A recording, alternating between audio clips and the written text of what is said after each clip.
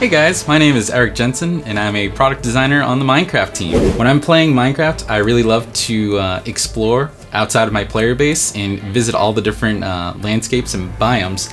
So that's kind of what I've recreated here. And so what I've done is I've created a kind of a modular world. We have the forest biome, the plains biome, and then a little bit of a mix of Badlands, Taiga, and Ice Spikes. And my favorite, Crimson Forest. One great example of how to do these different kind of builds is here we have the um, forest biome, which sometimes will have giant mushrooms and different types of trees. So what I've done here is broken them up into little 6x6 sections, which allow you to easily connect each of our sets and allow you to expand and build out your uh, world. What I will do, depending on what kind of adventure I'm going on, is kind of mix match and customize however I like to create my Minecraft world. And there we go. So when I go exploring in Minecraft, I always take my trusty uh, horse decked out in some diamond armor.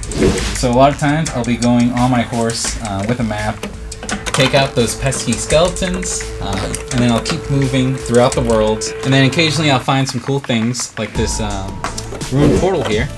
With a little bit of building, I'll fix the portal, and then my character will go through it, battle some more, and eventually um, find some ancient debris to create more um, tools and weapons using netherite. And that's how I go about my Minecraft adventures. I'd love to see what you guys can come up with.